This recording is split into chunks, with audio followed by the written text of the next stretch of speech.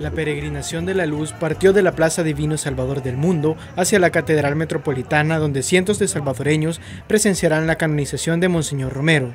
Antes de su partida, distintos colectivos participaron de un acto cultural que incluyó baile, música y mucha alegría. De las actividades también fueron partícipes extranjeros que no querían perderse del acontecimiento histórico. Hoy nos hemos juntado como familia claretiana de nuestra congregación alegre para celebrar la fiesta de San Romero de América. Hoy es un día histórico para El Salvador y queremos compartir esta alegría con el pueblo.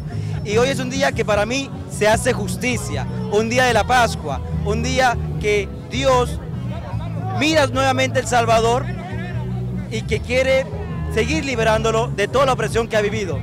Quiere decir que lo que hizo Monseñor Romero no quedó en vano su trabajo sigue y su legado sigue. Los peregrinos se unirán a los salvadoreños que realizarán una vigilia hasta las 2 de la mañana, hora en que Monseñor Romero sea declarado santo. Este es un informe de la.